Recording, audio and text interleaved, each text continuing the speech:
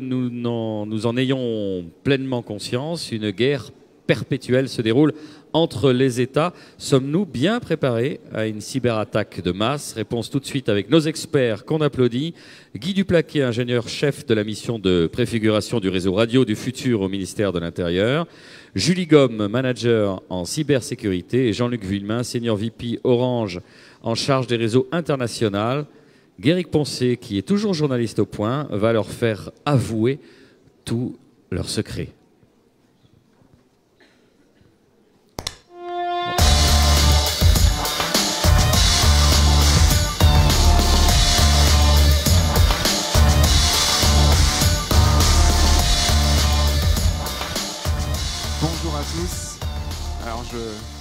J'enchaîne avec cette nouvelle table ronde. Euh, comment peut-on survivre à des cyberattaques en France? Est-ce que nous sommes bien préparés?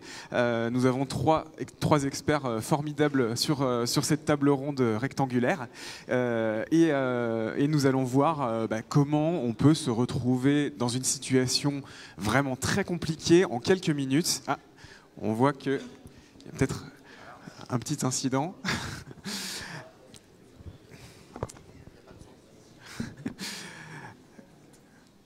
Bon, alors l'objectif euh, ici, c'est de, vous montrer que la, lumière peut s'éteindre à tout moment. Euh, alors, comment, comment se déroulera une cyberattaque? On a préparé un petit quiz pour essayer de voir, euh, de vous demander de réfléchir en quelques minutes sur comment vous voyez les choses. Alors, il y, a, cinq questions avec trois réponses possibles à chaque fois. Je vais vous, guider à travers ce, petit quiz. Alors, comment, selon vous, pourrait démarrer une cyberattaque Quelle serait la source finalement d'une cyberattaque? Alors, H-30 secondes, 30 secondes avant l'attaque. D'où vient l'attaque? Alors selon vous, est-ce que c'est réponse A, le fils d'une employée d'un grand groupe énergétique qui installerait un jeu piraté sur l'ordinateur de sa maman? On sait que les jeux piratés peuvent parfois contenir des, des codes un peu malveillants.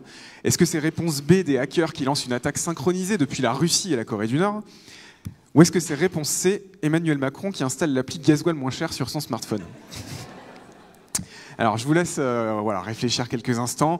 Euh, pour nous, pour ce scénario-là, ben, on, imagine que c'est un jeu craqué qui peut euh, être la source de l'attaque. On en parlera d'ailleurs avec vous, Julie Gomme, puisque vous, avez travaillé sur le sujet. ensuite, alors, plus 10 minutes, 10 minutes après cette infection, que peut-il se passer? Réponse A, le réseau de distribution d'électricité subit quelques perturbations anodines. Réponse B, les pare-feux des grandes entreprises passent immédiatement dans le rouge, les grands groupes et les ministères sont tous alertés d'une intrusion majeure. Ou réponse C, la réponse C, Jean-Pierre.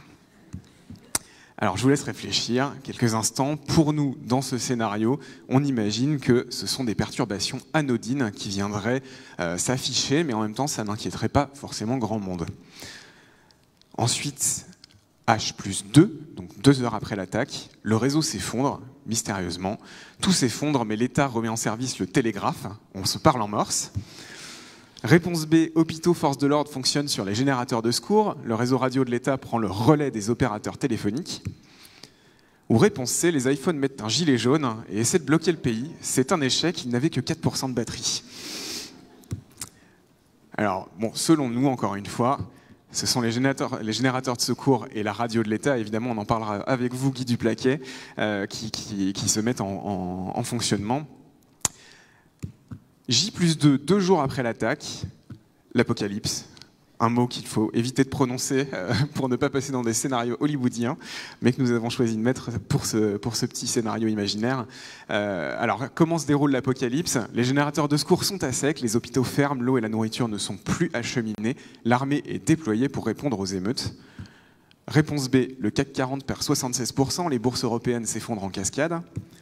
Réponse C, vague de suicide chez les traders des banques parisiennes, seul le Crédit Populaire d'Occitanie s'en sort. Alors, pour nous, eh ben, c'est un scénario euh, un peu catastrophe, mais euh, effectivement, la, fin des télécommunications et la fin des fonctionnements des systèmes informatiques peut mener euh, à, des véritables problèmes d'acheminement et, de, fonctionnement même de la société. Et J plus 5, ben, c'est le moment d'un tout premier bilan. Hein, comment, comment on pourrait essayer de déterminer qui a attaqué alors selon vous, est-ce que c'est plutôt, on verrait des tanks ennemis à la frontière euh, et on saurait tout de suite qui a essayé de nous attaquer? Réponse B, aucun ennemi n'a été identifié, mais les pertes se chiffrent en milliards d'euros. Ou réponse C, Vladimir Poutine dément toute responsabilité de depuis son bureau dans la Tour Eiffel. Et eh bien pour nous, aucun ennemi n'est identifié, euh, parce que bah, c'est très difficile d'identifier un ennemi quand on parle de, cyberattaque. Voilà, c'était le petit scénario qu'on voulait vous montrer. Euh, on, va, commencer un peu euh, à, à, débattre désormais avec nos invités. Déjà, je pense qu'on peut faire un premier tour de table pour, euh, que vous présentiez chacun un petit peu vos activités, euh, votre quotidien, on va dire, euh, et, comment vous, travaillez. On peut peut-être commencer avec vous, Jean-Luc Villemin, donc directeur des réseaux internationaux d'Orange. En, particulier, vous vous occupez du réseau de câbles sous-marins, c'est quelque chose qu'on connaît assez peu, en tout cas que le grand public connaît assez peu, mais qui fait transiter 99,99% des, des données internationales. Oui, merci. Alors, c'est vrai que quand on parle de, cybersécurité, on parle volontiers euh, de virus, d'attaques informatiques euh, ou de choses de ce genre. Et on oublie qu'à la base, euh, un réseau, bah, c'est des câbles, c'est une infrastructure. Et aujourd'hui en France, c'est une statistique qui est effectivement celle que vous avez mentionnée et qu'on retrouve un peu partout, 99% du trafic intercontinental de l'Internet transite par des câbles sous-marins.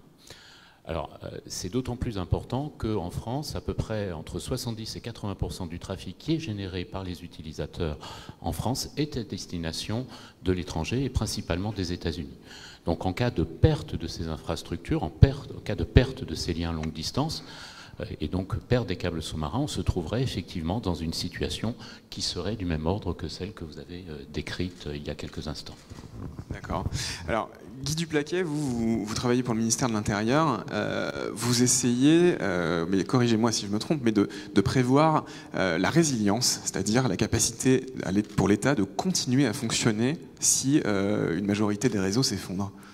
Alors effectivement, ma mission consiste à réfléchir aux architectures à mettre en œuvre, à la fois sur le plan technique, mais aussi sur le plan méthodologique ou sur le plan des procédures, euh, pour euh, faire face euh, à des situations de crise, de désastres majeurs ou de désastres mineurs ou d'incidents.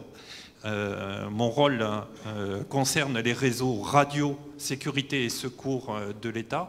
Une activité très bleu, blanc, rouge. Les bleus, c'est la sécurité intérieure, les policiers, les gendarmes.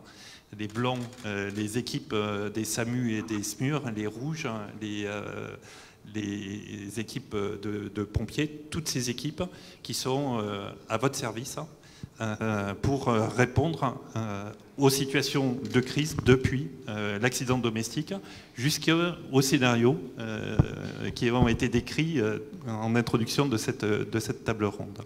Et la préoccupation majeure, c'est effectivement garantir le fonctionnement de ces réseaux radio en tout temps et en tout lieu depuis euh, euh, le fin fond euh, d'une vallée pyrénéenne, celui d'un parking souterrain, ou encore depuis le, cœur de Paris, les Champs-Élysées, ou depuis la présente salle.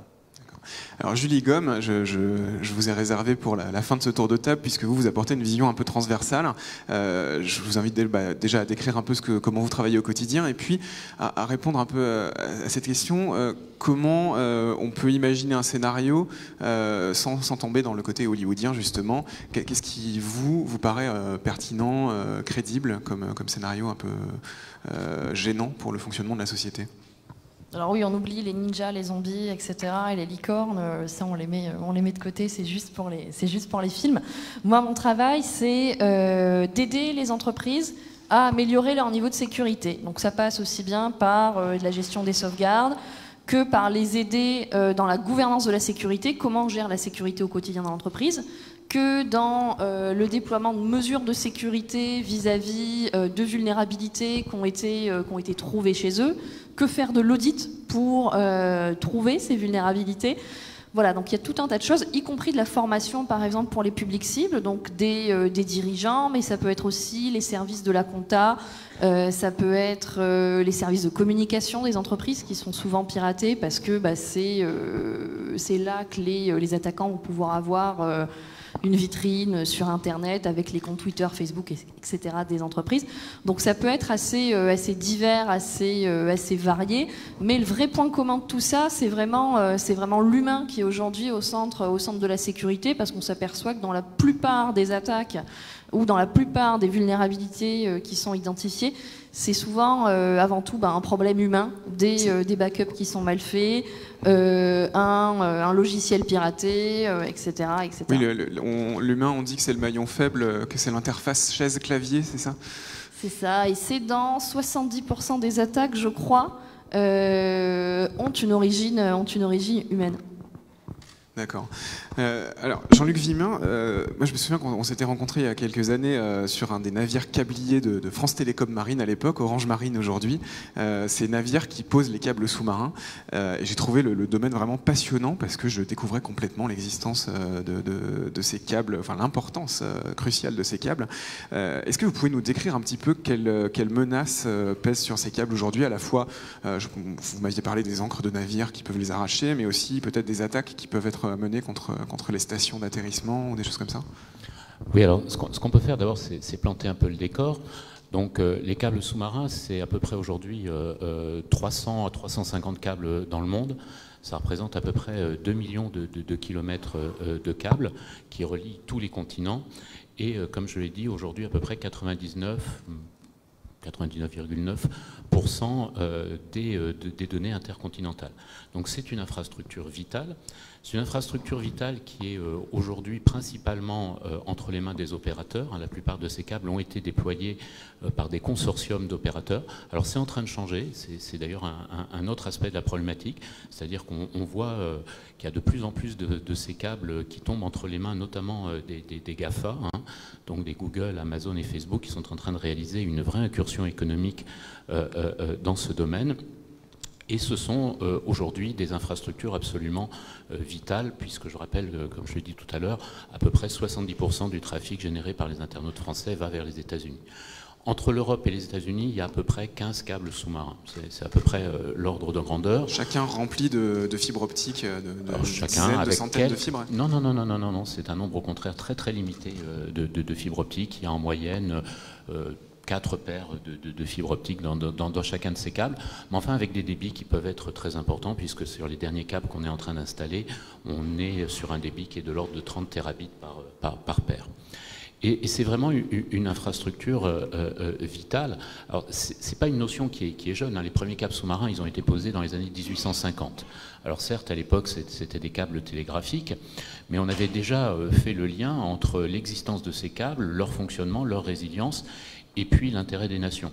En 1914, un des premiers gestes qu'ont réalisé les Allemands à la déclaration de guerre a été d'aller couper les câbles sous-marins de l'Angleterre qui servaient à établir le lien avec, euh, avec les colonies. Mmh. Et aujourd'hui, alors on pourrait évidemment arriver à des situations de conflit où ces câbles seraient euh, euh, coupés de façon extrêmement agressive, notamment pas par des marines étrangères. Oui, on sait, qu'on sait que les États-Unis ont modifié un de leurs derniers sous-marins pour, pour avoir la capacité de sortir. Il y, a une activité sous-marine intense autour des câbles sous-marins. Et puis c'est vrai qu'il y, a des scénarios qui sont plus sournois, où on pourrait imaginer que dans des situations de crise, euh, avec euh, euh, entre l'Europe et puis euh, d'autres blocs de pays, eh bien, un certain nombre de câbles sous-marins puissent arrêter de fonctionner de façon extrêmement échelonnée, ce qui conduirait euh, à une paralysie progressive de l'économie à travers une paralysie, une paralysie extrêmement rapide de l'Internet en, Europe. Parce que les satellites sont incapables de gérer ça Alors les satellites sont totalement incapables de, gérer ça, ils n'ont pas les, capacités nécessaires. et en plus, je dirais que certains pays sont plus vulnérables que d'autres. Euh, si vous prenez le cas de la Chine, par exemple, la Chine, c'est pas vraiment un Internet ce qui est en Chine. Moi, j'appelle ça un Internet, un, extranet national. C'est-à-dire que toutes leurs données sont stockées en Chine, les points de contact vers l'extérieur sont extrêmement limités. Donc, si la Chine perd l'ensemble de ses câbles sous-marins, et elle en a euh, demain, euh, son, intranet national va continuer de fonctionner. De, la même façon, en, Russie, la, Russie a un Internet qui est beaucoup plus centré sur, euh, sur son territoire. Toutes les données de toutes les entreprises en Russie, par exemple, ont l'obligation, de par la loi, d'être stockées en Russie. Donc s'ils perdent leur, leur, liaison internationale, là non plus, c'est pas un drame. Nous, c'est absolument pas notre cas. Nous sommes extraordinairement dépendants euh, euh, des États-Unis. Nous sommes dépendants des contenus qui sont stockés aux États-Unis. Nous sommes dépendants des data centers qui sont extrêmement nombreux et qui sont pour la plupart d'entre eux euh, situés aux États-Unis. Et, donc cette infrastructure qui nous relie aux, États-Unis, essentiellement celle-là, il existe évidemment d'autres caps sous-marins qui vont vers l'Asie et, l'Afrique, dont les pertes seraient problématiques, mais plus, par exemple, si nous perdions les caps vers l'Afrique, ce serait plus, beaucoup plus un problème pour les pays africains que pour les pays européens. Mais en tout cas, tout le monde aujourd'hui est extrêmement dépendant de cette infrastructure. D'accord. Alors, Guy Duplaquet, euh, vous, vous, travaillez donc sur les réseaux parallèles, entre guillemets. Euh, est-ce que vous pouvez nous expliquer un petit peu plus concrètement en quoi ça consiste et, euh, peut-être nous parler de ce qui existe déjà, peut-être d'expériences qui ont été vécues sur le terrain? Je sais que par exemple, lors du crash de Germanwings, il y a quelques années, il y avait eu une bulle de communication déployée dans les montagnes pour pouvoir permettre aux secours de communiquer, ou, le soir du Bataclan, des réseaux parallèles aussi qui ont été utilisés puisque le, les réseaux publics étaient totalement saturés. Alors effectivement, euh, l'État euh, euh, et les forces de sécurité et de, secours s'appuient aujourd'hui sur des réseaux radio, dont d'ailleurs le principal équipementier est bien connu ici à Toulouse, puisqu'il s'agit d'Airbus, qui au fil de ses rachats successifs a, racheté Matra Communication, le concepteur initial du réseau. Euh, ces réseaux euh, sont euh, bâtis sur des technologies qui datent du début des années 90 et qui sont assez propriétaires. Et aujourd'hui, ce sont des réseaux qui sont entièrement possédés par l'État. Une situation qui a des avantages certains. L'État en assure une maîtrise complète. Nous savons en assurer un premier niveau de, maintenance. Les technologies employées ne sont pas complètement euh, euh, pour, pour, rester un petit peu positif hein, sur, euh, sur le sujet. Mais c'est également une série d'inconvénients qu'on peut décliner de, de, la même façon. Il n'y a qu'un seul équipementier de référence pour nous aider à maintenir ces réseaux. Le coût euh, est élevé parce que justement la technologie utilisée euh, est essentiellement euh, propriétaire et nous sommes dépendants de la feuille de route hein, de l'équipementier de référence pour garantir la, durée de vie de, ces réseaux, ce qui a conduit l'État à engager il y a quelques années une réflexion sur la modernisation initialement et en, en réalité le remplacement de ces réseaux radio sécurité et secours. Alors, il y a eu des retours d'expérience suite à des alors effectivement, euh, qui, ceci dit, ont montré leur efficacité. Euh, euh, Guéric a cité le crash de la German Wings, où on a réussi sans trop de difficultés à mettre en place une bulle tactique pour assurer une couverture d'une zone où il y a zéro réseau de communication en, temps normal. C'était dans les Hautes-Alpes, hein, c'est ça Absolument, tout à fait. Ou encore à la suite de l'attentat du Bataclan, où en dépit du fait que les réseaux publics aient pu être saturés ponctuellement euh, pendant euh, euh, l'attentat. plusieurs milliers d'agents bleus, blancs et rouges des services de sécurité et de secours ont pu utiliser des moyens de communication radio sans difficulté opérationnelle majeure. Donc ça, la continuité de l'information et de la décision, de la chaîne de commandement, c'est quelque chose de crucial. C'est crucial, mais euh, dans un contexte qui reste essentiellement tactique. Hein. Une des caractéristiques euh, des interventions des forces de sécurité et de secours, c'est que euh, si on a certes besoin, dans l'idéal, d'une coordination nationale de ces interventions, L'efficacité de ces interventions est d'abord et avant tout centrée sur une zone limitée. German Wings, comme le Bataclan, constituent de bonnes illustrations de cette situation. Lorsque des pompiers ou des SAMU ou même des policiers, des gendarmes interviennent, c'est sur des zones euh, qui sont euh, raisonnablement limitées. Ce qui fait qu'en termes de conception, euh, notre première préoccupation, en cas de désastre majeur, c'est d'abord et avant tout de reconstruire une capacité tactique de radiocommunication avant de réfléchir à un lien entre le terrain et un centre plus lointain de commandement. Alors Julie Gomme, justement, euh, dans, ce cadre-là, comment vous, conseillez aux entreprises d'anticiper un retour à la normale, euh, comme, ce qui a été décrit euh, pour l'État, là, mais bah, au niveau des entreprises, ou à plus large échelle, le retour à la normale, c'est stratégique, comment ça se gère?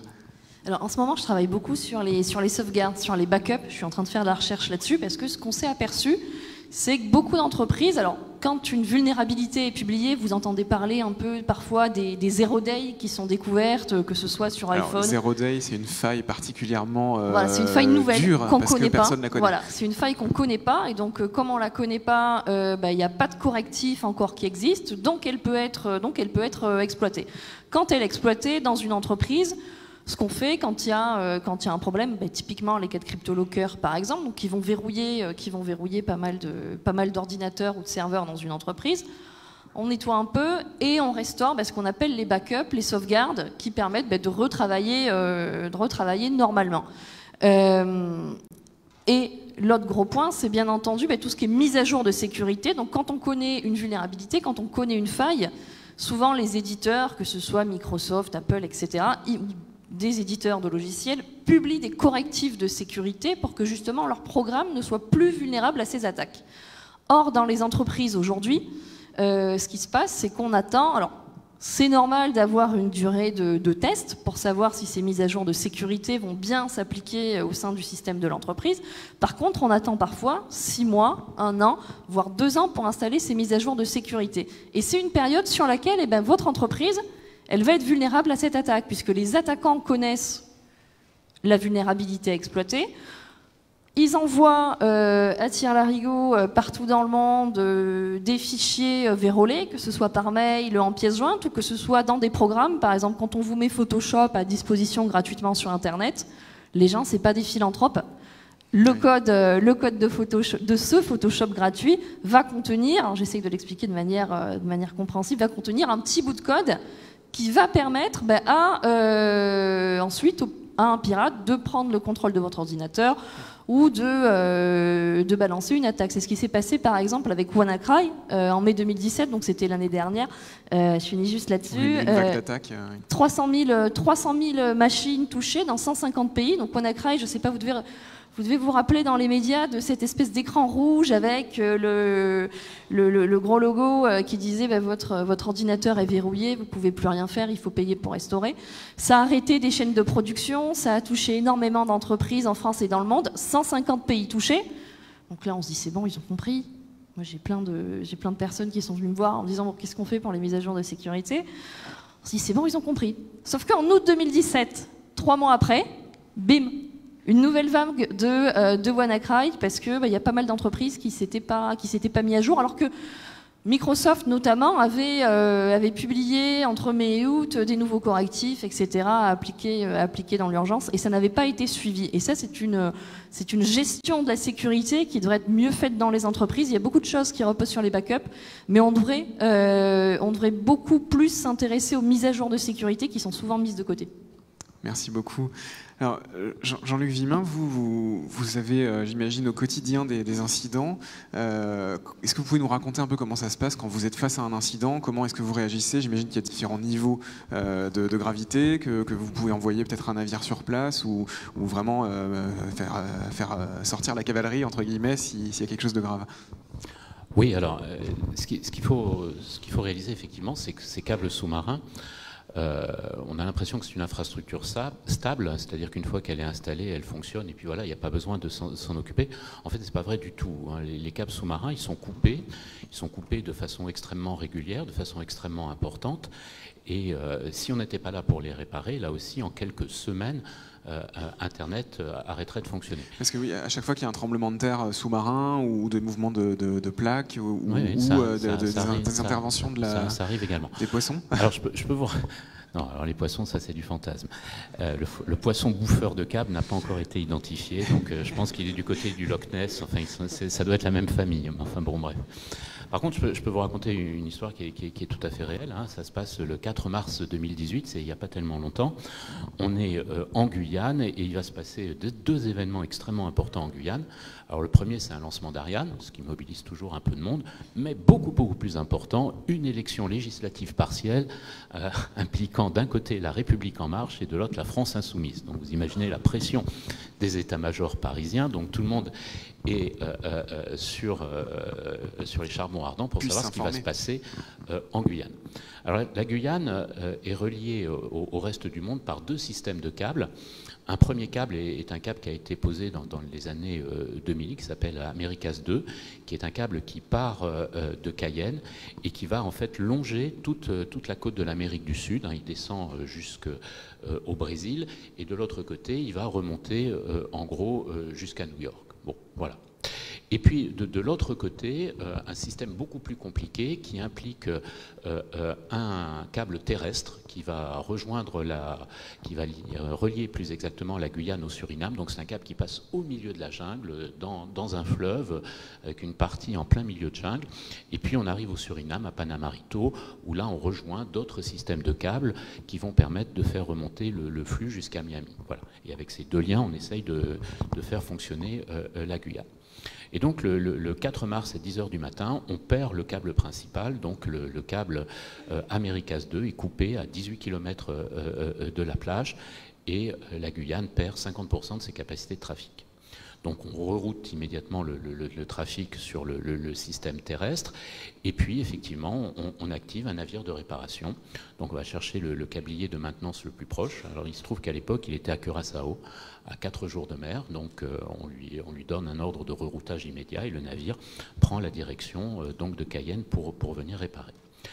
Alors la Guyane se portait déjà pas très très bien parce que le système de cap terrestre était un peu court en termes de capacité, donc l'internet était congestionné, ça marchait pas très très bien, mais enfin on, survivait à peu près. Et 24 heures plus tard, on perd le câble terrestre, euh, donc coupure du câble terrestre. Alors là, la Guyane totalement isolée, totalement isolée. Et comme deux opérateurs mobiles n'ont pas de cœur de réseau mobile en Guyane, ça voulait dire que les réseaux mobiles étaient même incapables de passer un appel local. Donc, euh, je ne vous raconte même pas la situation. Donc là, ça, téléphonait de, tous les côtés. Malheureusement pas, des tonnes de trucs à faire puisque le, navire était déjà en route pour venir réparer le câble. Donc on a armé une expédition de secours à Dodome et puis euh, l'expédition est partie de, de, Guyane, donc de Kourou dans la jungle pour aller réparer le, câble. Ce qu'ils ont fait 12 euh, heures plus tard. Ça leur a pris un peu moins. Le deuxième câble était coupé dans la jungle. Ah le deuxième câble était coupé dans la jungle. Donc on a réparé dans la jungle. En fait, il y avait un coup de foudre qui était tombé sur un arbre et, le câble avait cramé. Donc on, rétablit la situation. Puis là, on se dit bon, ben voilà, c'est bon, euh, c'est fou. Et là, euh, deux heures plus tard, on perd la, partie sous-marine de ce deuxième lien. Euh, deux fibres optiques euh, sur le câble, on ne sait pas très bien pourquoi, s'interrompent. Le câble faisait 12 paires, 12 paires optiques et deux paires tombent en rade. Donc là, bon, bah, on, reroute le, trafic. Bon, il restait 10 paires fonctionnelles, donc on reroute le trafic et on rétablit le truc. Bon, voilà. Alors là, ça a à peu près fonctionné. Et puis, euh, quelques jours plus tard, euh, euh, le navire est arrivé à réparer le câble. Et on, a à ce moment-là, d'ailleurs, il, a réparé les deux câbles. Il a d'abord réparé le premier câble Americas 2 qui avait été coupé, une coupure franche, donc probablement une encre de navire. Et par contre, ce qui était intéressant, après, il est parti récupérer, réparer le, deuxième câble, la partie maritime du deuxième lien. Et donc, il nous a remonté, il nous a envoyé un gilet jaune, des photos. Ouais, c'est un peu ça. Et, en fait, la, photo était hyper intéressante parce qu'on voyait que le câble avait été râpé par en dessous. Et ça, c'est typique effectivement d'un mouvement tellurique sous-marin. Ça veut dire qu'en fait, il y a eu un tremblement de terre et c'est le sol qui a bougé sous le câble. Ça a fait comme une immense râpe qui a attaqué le, câble et la partie externe du câble a été endommagée. L'eau est rentrée, ce qui expliquait pourquoi il n'y avait que deux paires sur les douze qui avaient été attaquées et, coupé. Là aussi, on, a réparé. Donc voilà un peu ce qu'on fait au quotidien pour maintenir euh, les communications au niveau international. Merci beaucoup. Alors je vais encore poser une ou deux questions, mais après je donnerai la parole à la salle, donc n'hésitez pas à, réfléchir à des questions de votre côté. Euh, Guy Duplaquet, euh, vous, comment vous voyez euh, Il y, a souvent un, dilemme pour, pour ceux qui, créent des réseaux un peu stratégiques comme ça. c'est où est-ce qu'on va se fournir demain avec la, diminution des fournisseurs souverains, français, fiables, européens, etc. Comment vous voyez ce, dilemme-là? Est-ce que dans le réseau que vous préparez pour demain, vous avez des, des défis à relever de ce côté-là par exemple pour éviter d'utiliser du matériel d'origine chinoise? Alors effectivement, euh, c'est toujours un problème euh, de faire, euh, de trouver le bon équilibre entre les nécessités qui existent autour de la politique industrielle, de la sécurité nationale, mais également la nécessité d'utiliser de manière rationnelle quelque chose qui est extrêmement rare, hein, qui est l'argent public. Hein, rare et précieux. Il faut donc concevoir des systèmes hein, qui sont particulièrement résilients, qui sont efficaces pour répondre aux besoins quotidiens des services d'urgence et de sécurité, mais également qui satisfont les nécessités en matière de souveraineté euh, notamment de souveraineté numérique hein, et euh, d'efficience hein, de la dépense euh, publique. Parce que par exemple, une puce qu'on peut trouver à 2 dollars chez un fabricant à, Shanghai ou à Shenzhen peut coûter jusqu'à 200, 300, 400 dollars si elle est fabriquée ou en tout cas développée en France alors, c'est certain que quand on demande quelque chose qui est non standard, il est fabriqué à petite échelle et il est beaucoup plus, beaucoup plus onéreux. Effectivement, si on veut de manière matérielle introduire des spécifications, des spécificités euh, de, sécurité, on va se retrouver avec euh, des coûts euh, qui sont, qui sont élevés. Alors, le caractère spécifique, hein, c'était le choix qui avait été fait au début des années 90 sur les réseaux sécurité et secours. En termes de reconception, on est plutôt actuellement sur une philosophie qui est un petit peu opposée. On va plutôt rechercher euh, la standardisation euh, la plus importante possible pour bénéficier d'un écosystème le plus large possible, mais incluant bel et bien euh, des équipementiers, des intégrateurs, des opérateurs nationaux, si c'est possible, européens au moins, avec un équilibre à trouver entre une trop forte ouverture qui nous expose à des attaques une trop forte fermeture, hein, euh, contre une trop forte fermeture ou trop forte spécificité, qui certes hein, limiterait la surface d'attaque, mais qui euh, augmenterait de manière significative euh, les coûts. Hum. Alors, est-ce que vous êtes d'accord avec la phrase de, Guillaume Poupard, qui est le, patron de l'agence de cyberdéfense en France, qui dit qu'il faut toujours faire preuve d'une saine paranoïa? Alors, la paranoïa, c'est une maladie professionnelle dans l'administration. Donc, je pense que Guillaume en est, voilà, alors, dans la sécurité aussi. Et donc, euh, quand on travaille dans la sécurité, dans l'administration, on, on, en est doublement, euh, doublement victime. C'est une maladie professionnelle dont il faut avoir euh, conscience, qu'il faut s'efforcer de cultiver, mais également de surmonter. Alors Julie Gomme, chose promise, chose due, parlons un peu de jeux vidéo, puisque vous avez beaucoup travaillé sur le sujet. comment un, jeu vidéo peut transformer notre ordinateur en base d'attaque? Alors je crois qu'il y a une poignée de slides. Il y a, quelques images à montrer. Qui existent, voilà.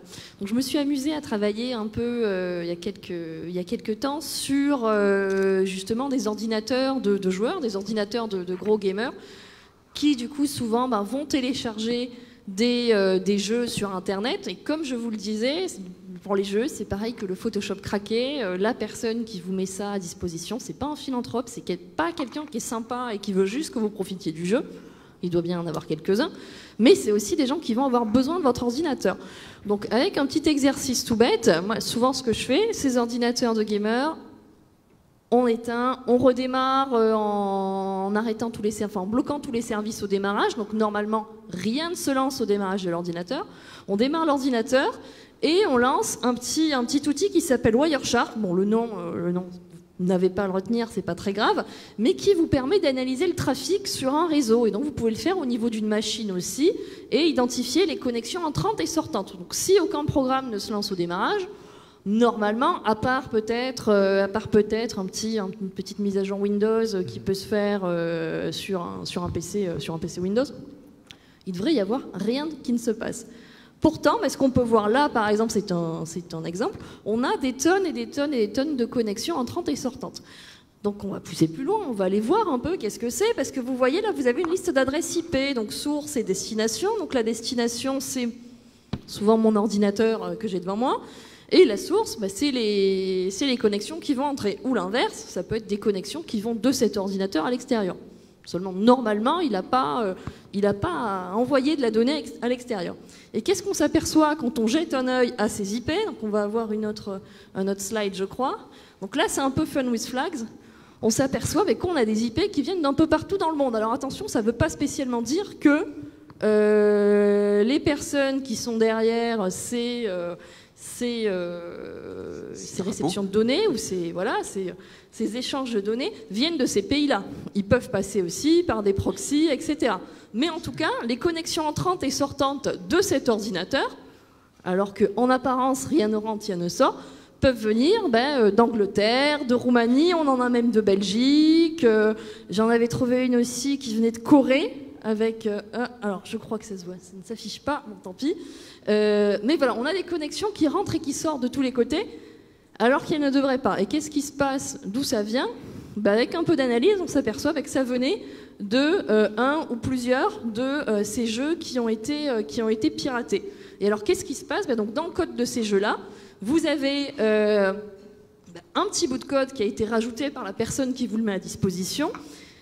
Et ce petit code, ma mission est d'exploiter telle ou telle vulnérabilité. Ce qu'il faut savoir aujourd'hui, c'est 80 pour- 90% des, euh, des attaques en entreprise sont euh, des attaques qui portent sur des vulnérabilités de plus de 3 ans. Donc on parlait des mises à jour euh, de sécurité qui n'étaient pas faites. Là, c'est quand même assez, là, c'est quand même Donc, assez énorme. Il y en a qui doivent passer des sales quarts d'heure quand, quand les attaques sont analysées après coup. C'est ça. Ça. Il y en a qui doivent passer les seuls quarts d'heure. Et quand c'est du gros, du très très gros, comme euh, par exemple avec WannaCry, on a des cellules de crise. On voyait hier soir le documentaire sur les astronautes. Il y en avait un qui disait bah tiens, il y a eu le feu dans la station Mir, on a voulu prendre la navette pour s'enfuir, bah, il y avait aussi de la fumée, il y avait le feu qui était là. Qu'est-ce que tout le monde a fait? Bon ben on a, euh, on a réagi, on a mis les masques et puis chacun a fait son boulot dans le calme. Dans les cellules de crise en entreprise, c'est pas ça. hein. C'est euh, c'est la décharge d'adrénaline euh, dans tous les sens euh, et ça peut et ça peut souvent être la panique suivant ce qui va être touché au niveau du au niveau du matériel ou au niveau des au niveau des données. Alors ce qu'il faut faire chez soi, tout bêtement, bon bah déjà, on va éviter de télécharger des logiciels craqués ou les vérifier. Ce que vous pouvez faire quand vous les téléchargez, c'est d'abord les passer, euh, un coup d'antivirus dessus pour voir s'il y a des, euh, virus, des malwares connus euh, dans ces, logiciels-là. Euh, à minima, ça peut vous aider. Il vaut mieux pas le faire de toute façon, parce que d'ailleurs, c'est aussi puni par la loi, je vous le rappelle. Euh, mais si vous le faites, voilà, à minima, à minima un coup d'antivirus. Moi, ce que j'avais proposé à ces étudiants-là pour faire un peu de, un peu de test, c'était d'avoir ce qu'on appelle ben, un- une sandbox avec un ordinateur, un vieil ordinateur qui ne sert que pour ça, donc à télécharger, euh, à télécharger un certain nombre de logiciels, les tester, voir si tout ça est sécur, lancer ces jeux-là même en mode dégradé pour voir si, pour voir si ça tourne et, euh, et s'il n'y a pas de problème sur des connexions entrantes, sortantes, surveiller avec un Wireshark. Et si effectivement il y a des connexions qui rentrent et qui sortent et qu'il y a une exploitation euh, de, euh, de cette machine-là, bah, du coup ne pas installer euh, cette, ce programme sur leur, sur leur ordinateur principal. Voilà. Merci beaucoup. Oui, effectivement, alors ça, ça me rappelle, quand, quand j'avais, on avait fait une couverture du point sur la cyberguerre, j'avais interviewé pas mal de responsables qui parlaient sous couvert d'anonymat. Euh, et, et un responsable informatique d'une très grande compagnie ferroviaire européenne dont je- que je ne citerai pas, qui n'a pas voulu être cité, euh, m'avait expliqué que euh, tout le système informatique était truffé de, trous et qu'il était tout à fait possible de mettre deux trains face à face sur la même voie et que bah, sont obligés de fonctionner comme ça parce que ça coûte trop cher de faire recertifier le, système informatique. Et donc euh, il m'a il m'a dit clairement qu'il fonctionnait comme ça en espérant que les hackers ne, ne verraient rien. Alors c'est pas que ça coûte trop cher, c'est qu'on choisit de mettre l'argent ailleurs. Voilà. Voilà. Alors ce, ce- ce- ce n'est pas la compagnie nationale française auquel tout le monde pense, c'est- une autre. Euh, alors je vais donner la parole à la salle. Est-ce qu'il y a des questions euh, déjà parmi vous? Monsieur au premier rang On va vous On apporter va- un micro. On vous apporte un micro. Hutin. ouais. Bonjour. Euh, Bonjour. Moi, j'avais une question pour euh, Monsieur Villemin.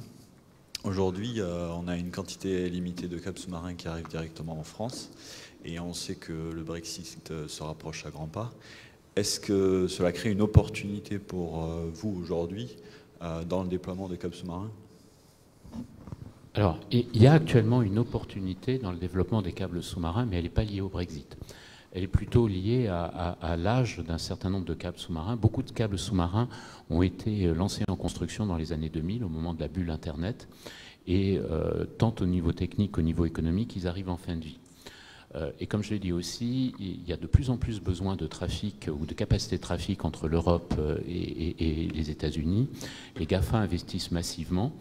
Euh, Ce sont eux qui ont aujourd'hui les plus gros besoins. Donc effectivement, il y a une nouvelle génération de câbles qui est en train d'arriver, extrêmement puissant, extrêmement moderne. Et la question, c'est où vont atterrir ces câbles? Donc nous, nous nous battons pour faire atterrir ces câbles en France, hein, puisqu'un câble, en fait, il arrive jamais tout seul. Il arrive avec un écosystème euh, euh, qui permet de, développer un peu euh, l'attractivité numérique du territoire sur lequel il atterrit. C'est le cas, par exemple, à Marseille. Aujourd'hui, à Marseille, vous avez une très grosse plaque d'atterrissage de câbles sous-marins. Vous avez des câbles qui arrivent d'Afrique, vous avez des câbles qui arrivent d'Asie. Euh, via le canal de Suez. Vous avez tous les câbles qui arrivent également euh, du, Moyen-Orient. Donc c'est devenu un point d'échange, au point d'ailleurs que le, point d'échange Internet de Marseille est maintenant plus, le plus gros d'Europe et plus gros est passé devant Francfort. Donc c'est vraiment important et nous on essaye de faire en sorte que ces câbles arrivent en France. Alors, euh, je dois dire que dans le domaine, la France a une politique d'attractivité que je qualifierais de moyenne, au mieux. Euh, sachant que, par exemple, il y a, d'autres pays qui, eux, subventionnent carrément l'atterrissage des câbles sous-marins sur, sur, leur territoire. On en est très loin, nous on les taxe, hein, mais bon, voilà. D'ailleurs, juste après, je vais rejoindre les Gilets jaunes version maritime. Votre gilet jaune est prêt, hein, il est là. Mais euh, non, non, mais sérieusement, c'est vraiment une catastrophe parce qu'il y, a un manque de vision autour des, enjeux autour de ces, de ces câbles sous-marins, alors qu'effectivement, on est, et vous avez tout à fait raison, au, au tout début d'une nouvelle vague d'investissement. Et si on loupe cette vague d'investissement, eh bien, les prochains câbles sous-marins, ils seront euh, ailleurs et en tout cas pas chez nous. Alors, juste, il n'y a pas de câble sous-marin à Toulouse, évidemment, mais euh, si je me souviens bien, il y a quand même un, un, nœud réseau assez important avec Toulouse IX, c'est ça Je sais pas, corrigez-moi, mais il y a, un, cœur de réseau à Toulouse. Oui, il y, a, un, point d'échange Internet, hein, un IPX, il y en a un peu partout dans, le monde, mais encore une fois, ils sont, ils sont de taille euh, plus ou moins, plus ou moins variable. Il y, en a, que trois en France, dont un à Toulouse, c'est ça Et celui de Marseille, comme je l'ai dit, est aujourd'hui extrêmement poussé euh, euh, par les câbles sous-marins. Alors après, il y a une opportunité aussi, on est en train de regarder du côté de Bordeaux. On aimerait bien faire des choses du côté de Bordeaux en atterrissage de, prochains câbles sous-marins. Et on essaye en tous les cas de convaincre un certain nombre de GAFA euh, d'atterrir de ce côté-là aujourd'hui. Donc pas dans la Garonne Pas dans la Garonne. Une autre question peut-être? Alors, monsieur au fond, oui? Alors le micro il y a un interrupteur. Non, non, non, parce qu'il y a du stream et donc c'est bien d'entendre votre question. Ah, on ne vous entend pas encore. Réessayez. 22, c'est une attaque peut-être. Allez-y. Non, deux questions très simples. Je voulais savoir justement s'il y avait des moyens de solidifier physiquement les, les nouveaux câbles. J'imagine que vous travaillez dessus. Et autre question, est-ce qu'on fait quelque chose pour réduire notre dépendance justement à ces câbles, avoir des systèmes qui ressemblent un petit peu plus euh, à ceux de la Russie ou de la Chine, c'est-à-dire être moins dépendant des serveurs américains? C'est la première fois qu'on réclame de ressembler plus à la Russie et à la Chine sur le plan d'Internet. Hein. Non, je, pense que c'est deux très bonnes questions. Hein. Alors, euh, la première, malheureusement, augmenter la résilience d'un système de câbles, c'est compliqué. Hein. Euh, en, France, officiellement, c'est la Marine nationale qui a dans ses missions la protection des câbles sous-marins. Mais bon, il s'arrache les cheveux, quoi. Protéger un million de kilomètres de câbles sous-marins avec 15 frégates de premier rang euh, qui, sont quand même engagées euh, un peu partout, euh, c'est pas de la tarte. Et, et, c'est pas une menace virtuelle. Hein. il y a eu il y a peu de temps toute une série d'articles au sujet d'un intérêt extrêmement malsain d'un certain nombre de bâtiments russes, hein, bâtiments de surface et bâtiments sous-marins autour des câbles de sous-marins dans le monde, y compris les nôtres en Méditerranée. C'est pas du tout, du tout une menace virtuelle. Hein. C'est une vraie réalité. On n'est pas dans la science-fiction. Donc pour augmenter la résilience d'un système de câbles, il n'y a, pas 36 solutions. Il y en a une première qui est d'augmenter le nombre de câbles. Euh, on est plutôt parti dans la direction inverse aujourd'hui, hein, euh, pour des raisons économiques. On est plutôt en train de faire moins de câbles plus puissants, ce qui en termes de sécurité n'est pas une bonne approche. Euh, et le deuxième, c'est ce qu'on appelle des câbles gris. Ce serait effectivement des, câbles secrets qui, qui, seraient installés par certaines organisations entre certaines destinations et qui ne figureraient sur aucune carte par définition, ils sont gris, donc je ne sais pas s'ils existent ou pas. Euh, voilà. Après, euh, la, question de la localisation des données et de la résilience de nos, systèmes informatiques, je pense que c'est une vraie question, là aussi. Euh, certains pays, et, il y en a de plus en plus, font des lois pour obliger les données cruciales pour un pays à être localisées sur le territoire du pays. Moi, personnellement, je trouve que c'est une très très bonne chose. Hein, et je ne suis pas en train de parler de dictature. Hein. Euh, L'Allemagne a, obtenu, établi un certain nombre de règlements dans ce domaine.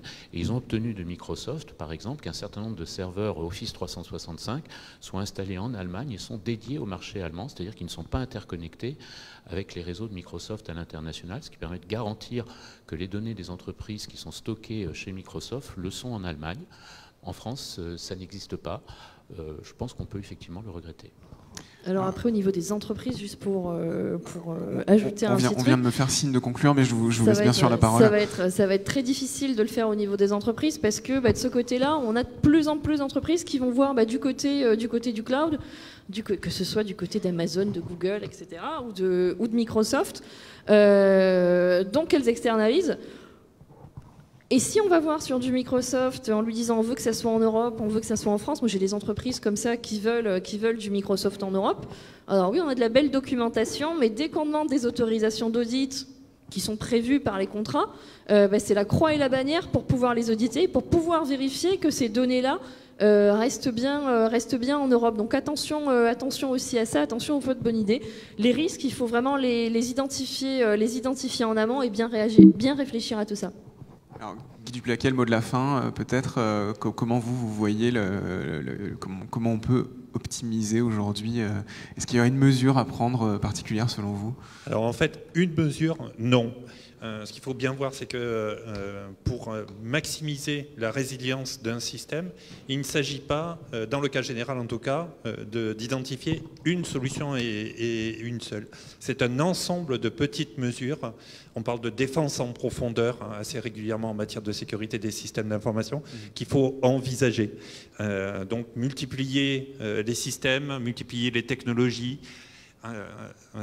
trouver les bons équilibres hein, entre euh, euh, un mode euh, citadelle, hein, une sécurité renforcée à un endroit donné, et au contraire, hein, euh, des, des murs peut-être plus faibles individuellement, mais empilés les uns derrière les autres, pour ralentir plutôt qu'arrêter euh, complètement un, un attaquant.